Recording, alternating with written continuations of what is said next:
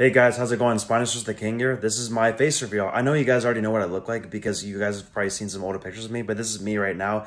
I figured at this point I, I would just show my face because, like, you know, you guys have been huge fans of me, and I think it's about time I reveal myself.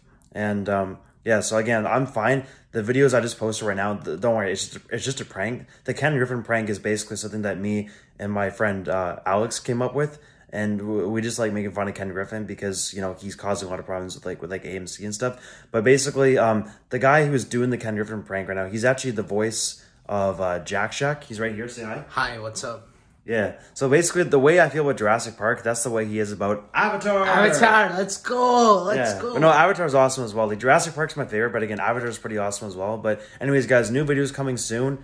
Um, once again, I do apologize. I haven't uploaded long videos for the last five months. You guys have already seen my video Spinosaurus The King Returns again. I explained all the reasons why I was gone for a while, but I'm back now. I'm going to try to upload as much as I can. Um, and like, okay, so like, since I do the voice uh, Jack Shack right here, so the reason why it's episode five has been in a hole for so long, the, the episode's about halfway done now, but the reason why I haven't continued with it is just because I don't really feel motivated motivated to doing it that much because again number one i'm the only animator on my team now and number two the only animation I know how to do is 2D animation. And like, it's not horrible, but it's not the greatest. So that's why I kind of lost motivation towards it.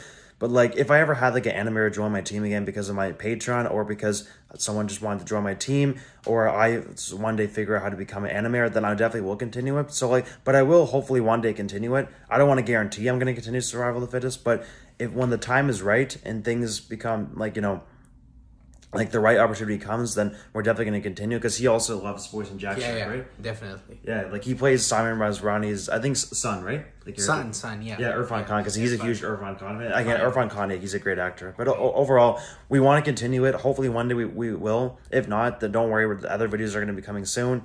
And yeah, so again, once again, Spinosaurus the King face reveal. I got my boy Jack Shack Jack here. Shack here. Peace out, guys. Peace out. Let's go.